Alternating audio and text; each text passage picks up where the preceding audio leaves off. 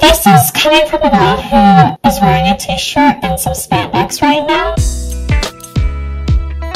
What's up you guys? It's Ashley. Welcome back to my channel. Today we are going to be talking about the Grammys. I absolutely love looking at the outfits every year and seeing what these artists decided to wear to like the biggest event of the year for them. First we have Miley Cyrus and she is in a beautiful chain link fence. this outfit, I'd rate it out of 10, maybe like a 5. I just don't like it. Moving on. Taylor Swift! This outfit is giving very much bridal vibes. The dress is, I don't know if it's supposed to be like that. It looks like a sheet. It just, it's not giving. A sheet to the Grammys? Mother, this outfit I would rate a three. Dua Lipa, I love her. This dress is giving Grammys. It could be shaped better, but I think that's the look is for it to be like baggy. It's giving mirrorball. It's six out of 10. It's just overall a good look.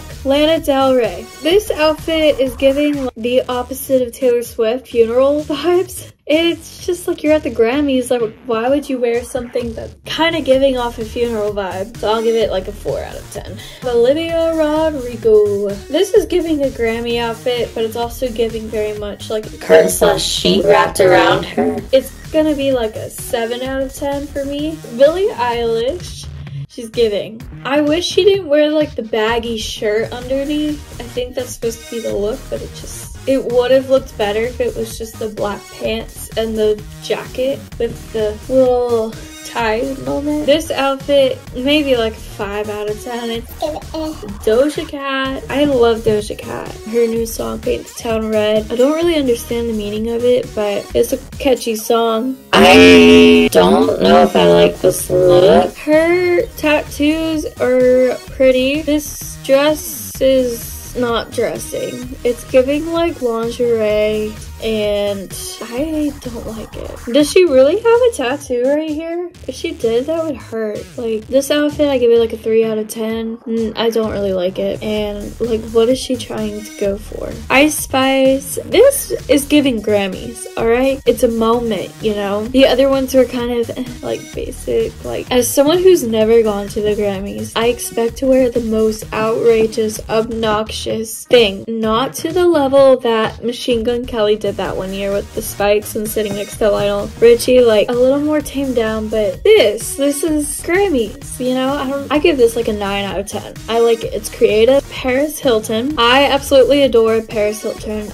It's giving like edgy, but something up from edgy. It's classy. Not something you would see all the time, and I have never seen it at the Grammys before. Point, prove me wrong, but I have never seen it. She looks great. I love this dress I'd give it like an 8 out of 10. Kelly Clarkson. I love Kelly Clarkson. This woman can sing anything. This dress is giving bridal vibes, but it's giving Grammys, you know? It's classy. It has off the shoulders. If she had a necklace, it would be um, top tier. This outfit is 7 out of 10. Jack Antonoff. And if you don't know who this is, this is Taylor Swift's like producer. This is giving Grammys, kinda. It's giving like a dad who's going to the Grammys, which I have no idea if he's a dad or not. But the suit looks kind of big for him, but I'd give it like a 6 out of 10. You can't go wrong with the suit. John Legend and Chrissy Teigen. Teigen. This is how you do the Grammys, I feel like. Yes, he's wearing a suit. Yes, I'm not really sure what the shirt is doing, but it's unique, it's different, and it's, I feel like fashion is supposed to be like unique. It definitely is. I give his outfit like a 7 out of 10. And Chrissy's outfit, the bottom